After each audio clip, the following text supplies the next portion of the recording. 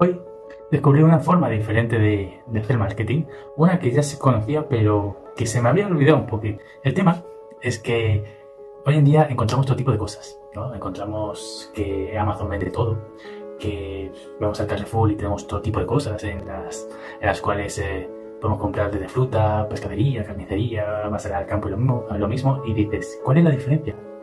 ¿Cuál es la diferencia? Es mucho más sencillo es conectar, pero conectar de manera de uno mismo. Por ejemplo, yo conecto con, con la risa, con el humor.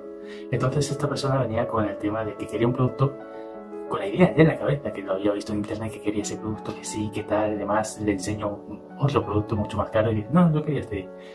Y le enseño el que quería, pero a la vez le muestro que el otro es mucho mejor.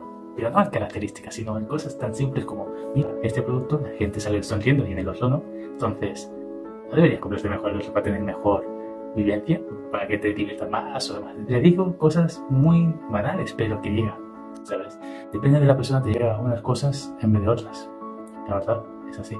Pero sobre todo es la energía que transmites, cómo lo transmites y demás. Entonces, el tema es no que vendes, que también, sino cómo lo vendes. ¿Vale? No es la atención al cliente, es conectar, ¿sabes? Entonces, conectas o todavía te cuesta? Bueno, chicos, ya me comentáis. Si te gustó este contenido, dale like, comparte las mierdas y sígueme